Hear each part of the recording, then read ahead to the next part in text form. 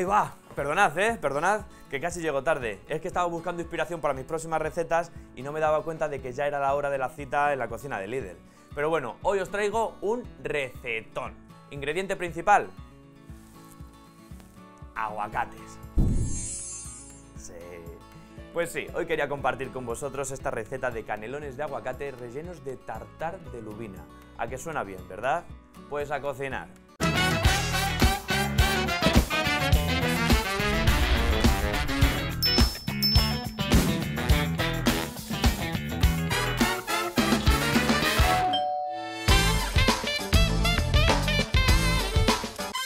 Bienvenidos un martes más a la cocina de Lidl. ¿Y qué hemos dicho que vamos a cocinar hoy? Sí, eso es. Una receta que me vuelve loco. Canelones de aguacate rellenos de lubina. Os va a encantar, ¿eh? Así que mucho ojo. Y es súper fácil. Mirad, vamos a comenzar por una emulsión. ¿Qué es una emulsión? Pues muy sencillo. Una emulsión es la mezcla de dos ingredientes inmiscibles que se unen, bla, bla, bla, bla, bla, bla. Bueno, lo que está claro es que vamos a hacer una especie de mayonesa, pero sin huevo. ¿Por qué? Porque el aguacate, este pedazo de producto, tiene un efecto emulgente enorme, que absorbe grasas y líquidos. Vamos a empezar por cortar el aguacate. Mirad lo que vamos a hacer. Lo vamos a abrir así. ¿Veis? Con mucho cuidado. Abrimos y lo vaciamos. Vais a ver, esta emulsión y nos va a dar untosidad a nuestro tartar de lubina. Qué pintaza que tiene el aguacate, ¿eh? Vamos a echar un chorrito de aceite, aceite de oliva virgen extra, Olisoni. Toquecito de sal, no os cortéis, ¿eh? Está muy bueno el aguacate, pero con un toquecito de sal mejor. Para que no se oxide el aguacate, vamos a darle un toquecito de limón. Y ahora, especias. ¿Qué especias vamos a meter? Bueno, yo tengo por aquí un poquito de jengibre, jengibre caña, magnífico, en polvo. Vamos a meterle una puntita.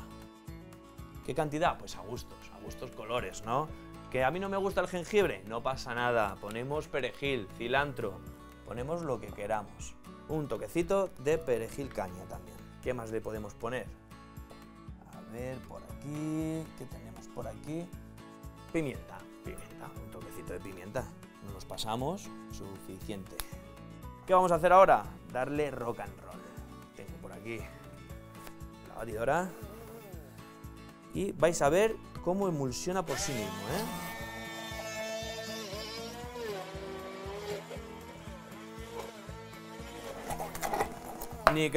Esto lo tenemos. Esto lo dejamos por aquí. Y ahora vamos a meterlo en un biberón para luego el emplatado. Tengo por aquí un biberón, una lengüita y así. Para no ensuciar más de la cuenta, lo que vamos a hacer es echarlo primero en una manga y luego al biberón directamente. Venga, qué rico está esto, ¿eh? Le da un toquecito fresco. Podemos añadir un poquito de menta, hierbabuena, como digo, cilantro, subirle el jengibre, bajárselo, como queramos. Para vuestros colores, mirad. Por aquí lo vamos teniendo. ¿Lo podríamos echar directamente con la manga? Pues también, pero es que a mí me gusta más el biberón, ¿eh? Yo soy más de biberón. Venga, por aquí cortamos. Bueno, venga, por aquí cortamos. Ahí está. Y así no ensuciamos nada. La emulsión la tenemos lista para alinear luego el tartar. Mirad cómo nos ha quedado, ¿eh? Mirad, mirad. ¿Ves? Esto es una emulsión perfectamente hecha. Bueno, pues una vez que ya tenemos la emulsión, vamos a pasar a por el tartar. Mirad qué forma más divertida de hacer el tartar. Lo primero que vamos a hacer es una infusión de aceite de oliva virgen extra. Aquí lo tenemos. Sin miedo, vamos a echar un buen chorrito de nuestro maravilloso aceite. Así, venga, por aquí lo vamos teniendo. ¿Con qué vamos a hacer la, la infusión de nuestro aceite de oliva virgen extra? Pues lo primero, un dientecito de ajo. Lentamente. Vamos a coger nuestras especias y vamos a poner una puntita de jengibre. Esto vamos a ponerlo fuego medio, ¿eh? Necesitamos un fuego medio de infusión, que sea sigiloso. Ahí. Venga, un poquito de comino. Venga, un toquecito de perejil. Toquecito. Tened en cuenta que cuando se lo añadamos a la yema de huevo, para hacer esa especie de saballón, nunca tiene que estar por encima de los 60-65 grados el aceite, porque si no cuajaría la yema y la liamos. Pero bueno, eso ahora os explico un poquito más. Mientras tanto, que infusione lentamente. Venga, tomillo. Un toquecito de tomillo caña. Venga, pues esto lo vamos a ir dejando aquí. Si tenemos de potencia del 1 al 10 o del 1 al 9, lo pondríamos en el 4 aproximadamente, ¿vale? Lo dejamos ahí unos cuantos minutitos, sin prisa. Por otro lado, vamos a por esta magnífica pieza de lubina. Mirad, bueno, bien fresca, en Lidl ya las tenemos fresquitas, limpias, todas las facilidades para consumir esta pedazo de lubina semigrasa con vitamina B, B12, potasio, bueno, unas proteínas magníficas, de las buenas buenas. Ahora que estamos con la lubina, me está viniendo a la mente una serie de recetas también con este maravilloso pescado, como puede ser esa lubina al papillot que hizo Montes o esa lubina con vinagreta de fresas magnífica que me encanta. Aquí os las dejo para que les echéis un ojo porque no tienen desperdicio, son la leche. Venga, vamos a coger un papelito.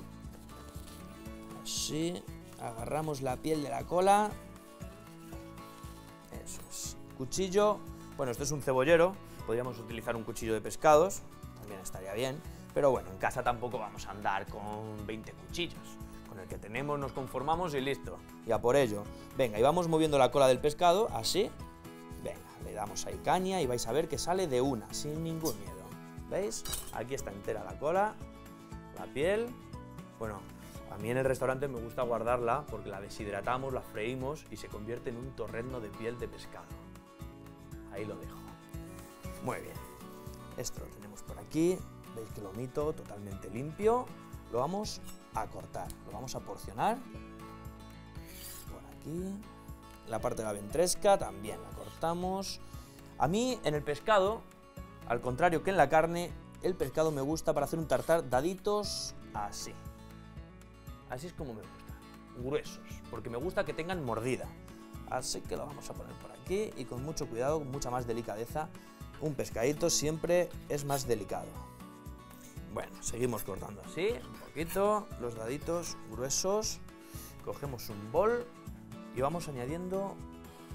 Venga, le dejamos por aquí y vamos añadiendo la lubina. Ahora lo que vamos a hacer va a ser el primer alineo del tartar. ¿Cuál va a ser nuestro primer alineo de tartar? Va a ser un poquito de cebolla, cebollita dulce, cortada en brunoise. Por otro lado, vamos a meterle un puntito de mostaza para adentro. Ahí está. Vamos a mover un poquito, lo vamos a agitar, ¿vale? Ya va cogiendo cuerpo el tema, ¿eh? Y todavía no le hemos metido esa especie de saballón aromatizada de aceite de oliva virgen extra que le vamos a meter. Un puntito de aceite en crudo. Perfecto, madre mía, cómo me gusta, cómo me gusta. Mirad, ralladura de naranja. Me encanta la piel de los cítricos de la lima, del limón, de la naranja. Es un potenciador de sabor nato, totalmente. Venga, y como extra, extra plus, que adoro el jengibre, así, para que se quede un poquito por encima del resto de los aromáticos. Perfecto. Unas vueltecitas. Y aquí es el principio del alineo, ¿eh? ¿Por qué digo el principio del alineo? Porque ahora vamos con el alineo final, el más potente, el más sabrosote y el que nos va a dar una textura totalmente diferente al tartar. Mirad, mirad el aceite, ya lo tenemos totalmente infusionado. Como os he dicho, la temperatura del aceite nunca tiene que sobrepasar los 65 grados, puesto que cuajaría la yema. Tenemos una yemita de huevo, la clara, la guardamos para hacer tortilla, para hacer lo que queramos, para hacer merenguitos, para un postre, lo que queramos. Mirad, vamos a batirla un poquito el saballón, aunque es un postre, porque por eso digo que es una especie de saballón, es un postre italiano, que se hace con yemas, vino y bueno, y se atemperan también esas yemas, pues es el mismo concepto. Vamos a darle caña a las yemas hasta que monten, emulsionen. Por eso vamos a darle así un poquito. Venga. Y vamos a darle caña. Le damos caña. Darle caña. Mirad qué color está cogiendo ya. Y qué textura. Textura de postre.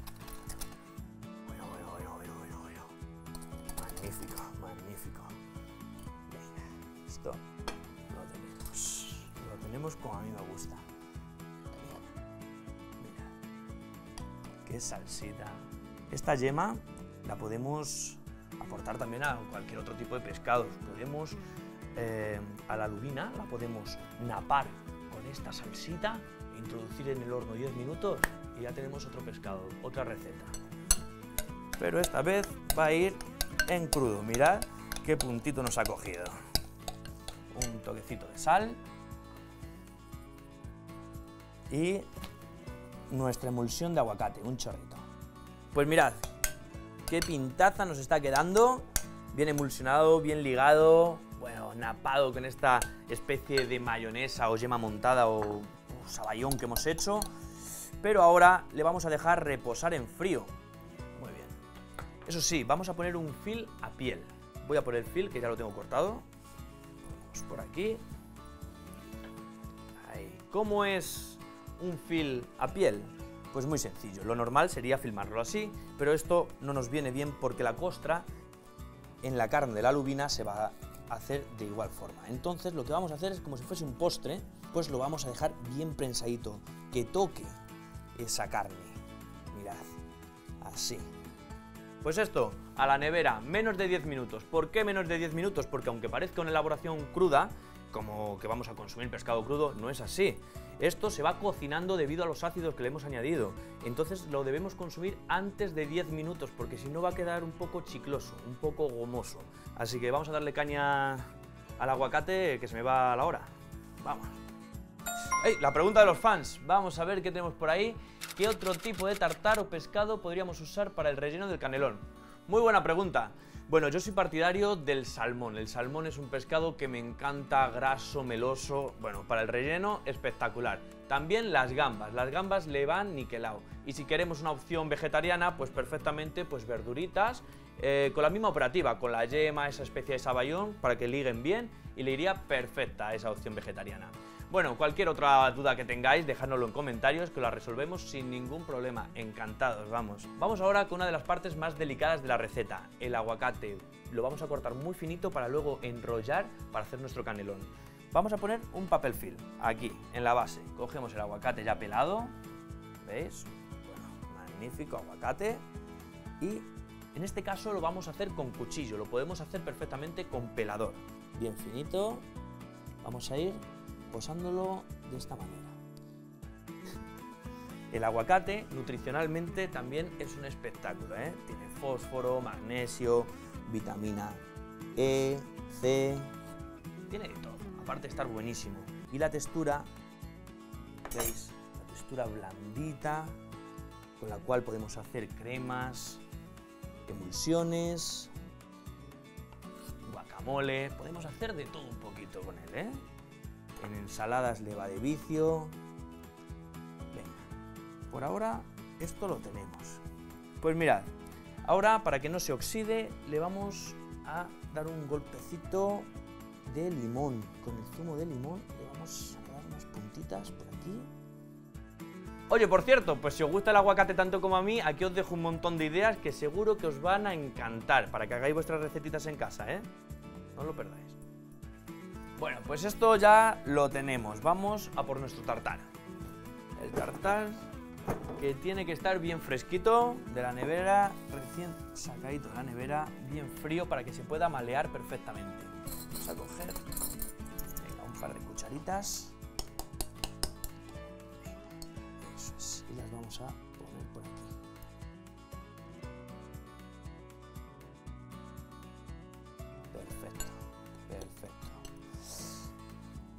Damos la vuelta y enroscamos. Este es el punto más delicado. Con cuidado, vamos envolviendo. Presionamos un poquito, así, como si fuese un maqui. Abrimos el sobre.